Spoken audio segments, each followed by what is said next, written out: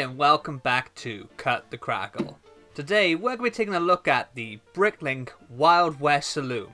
This set was produced as part of the AFOL designer program rather than by LEGO themselves. If you've been watching my Throwback Thursday series looking back at the LEGO Lone Ranger theme, you'll know I am a big fan of LEGO Western, so backing this project was a no-brainer.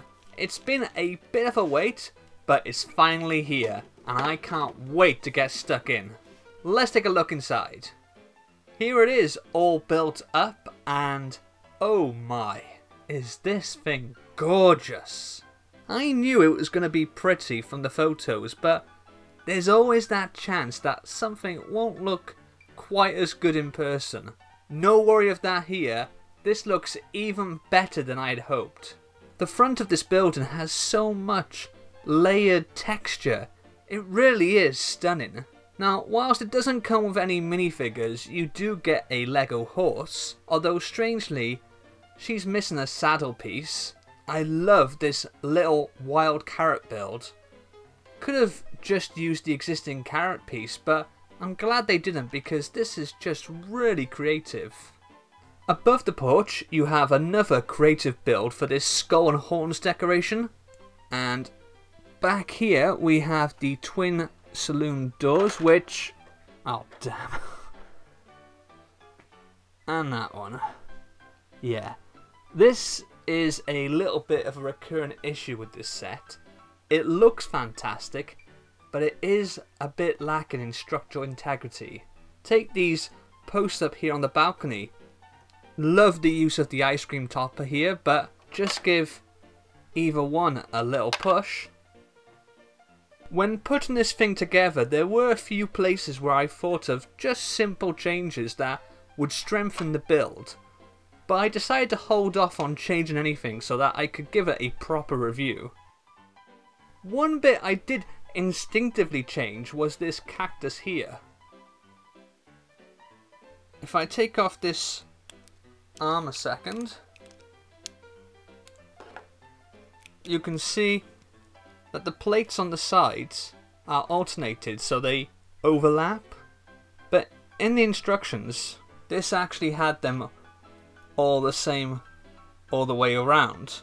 And just a bit of pressure will break it apart. If we move inside the saloon, you can see the interior is just as pretty as the front. There's a really nice bar to the left with some interesting combination of small pieces to make the various bottles on the back shelves. Next to that is a log burner build which has a chimney that continues onto the exterior of the saloon.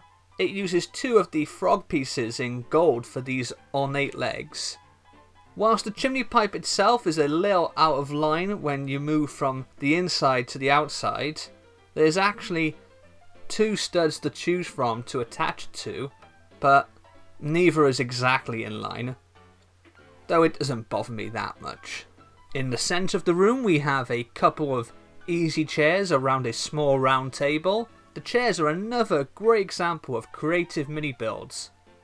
The black paddle pieces on the sides look like the legs, but in reality, the chairs connect via this hidden round 2x2 plate on the underside.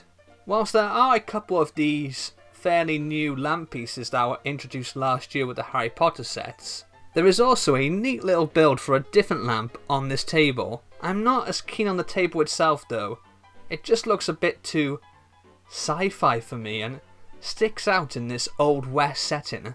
Right at the back is an excellent old grand piano construction and if I move the stool out of the way, Oops, just took a plate with it. But anyway, you can see this Mixos piece in gold is used for the piano's pedals. Upstairs, a balcony overlooks the first floor of the saloon, and off to the left is a set of drawers with a printed envelope. There's a hanging chandelier, and if I take that away, you can see a printed tile of a picture of an older man in a smart suit. I think this first came with the Creator Expert Bank set. I do like the effort to add a bit of decoration, but Personally, I just don't think this picture really works. It looks a little too modern. Up on the roof, there is a single wooden chest which contains that most precious of treasures a spoon.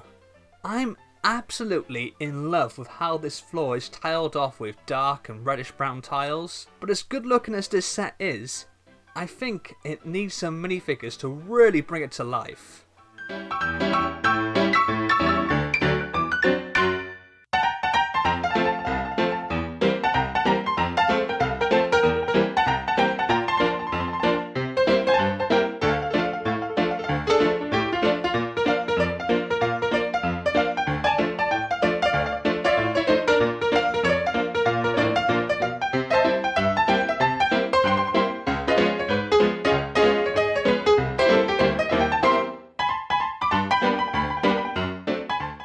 Getting this set has reinforced my love for LEGO Western, and as this was the second most supported project in the contest, I really hope LEGO take notice and bring the theme back in some form.